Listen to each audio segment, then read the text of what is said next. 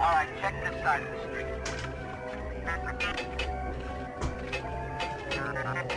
Door's locked. Move on to the next one.